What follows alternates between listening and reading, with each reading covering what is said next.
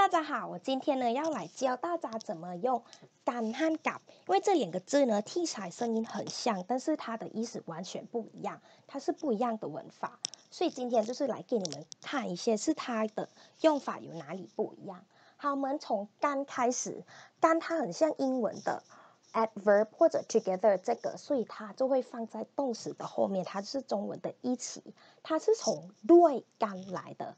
对这个字呢，就是很像 also 和也，但是其实你用的时候呢，口语不用讲对也可以，但是我这里会全部讲，OK 吗？好，哦，你看，金靠对干，金靠就是吃饭嘛，对干就是一起，金靠对干一起吃饭。 练ภาษาไทยด้วยกัน练是学习ภาษาไทย泰文ด้วยกัน一起嘛，就是一起学泰文。其实这里不用讲对也可以，但是你要等一下就会看到它会有第二个意思。然后你就会看这些我给你们的句子都不会很难，然后都会重复，就会给你们看一些是文法的差别在哪里，不是真正的要给你们什么单词，OK 吗？不会看到很复杂、很难、很长的单词。 好，第二个意思刚刚有讲，就是这个很像英文的 less 什么什么吧这样子，然后这里就不会有对了。金靠干就是有吃饭吧，练帕萨泰干学泰文吧。那你就会觉得那怎么记呢？有一起有八的意思，你要想一下，一起也要两个人以上一起做什么东西，对吗？很像八也是，你一个人也不会用八，所以它的意思其实对泰国人来说呢，它都是有两个人一起、两个人以上一起做什么东西的意思，OK 吗？好，那么来看打这里呢，打它很像英文的 preposition，就很像 with 这样子，所以它是中文的跟，所以你看到 preposition 是连连个名词在一起嘛，所以它就会放在名词的前面。好，我们来看金靠กับแม่，OK 吗？แม่是妈妈，所以กินข้าวกับแม่就是跟妈妈吃饭，OK 吗？เรียนภาษาไทยกับครูนัชชา，这个就是我的名字嘛，就是跟娜莎老师学泰文。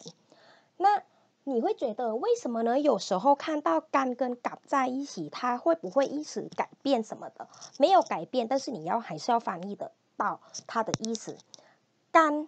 是一起或者两个人以上一起做什么东西，或者有把的意思。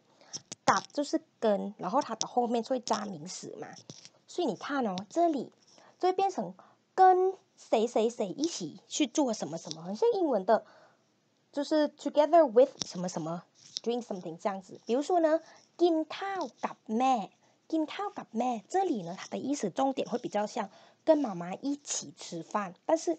กินข้าวกับแม่กัน把干放在后面，就会变成有那种，呃，跟妈妈一起吃饭吧，跟妈妈吃饭吧，这样子，OK 吗？然后呢，练ภาษาไทยกับครูนัชชากัน，就会这个就会有 跟娜莎老师一起学泰文吧，这样子，你可以翻译有一起有吧，这样，然后还是要加干在那边，因为它有干有干。OK 吗？今天就是这样子给你们看一些是干和干怎么用。然后现在呢，我在韩国，所以你看到都衣服比较比较厚一点，就是但是还是会 还是会教泰文，还是会工作，所以你们有什么问题也可以问我喽。那今天希望你们觉得今天的影片是有用，然后学到东西。好啦，今天这样子，拜拜，谢谢大家。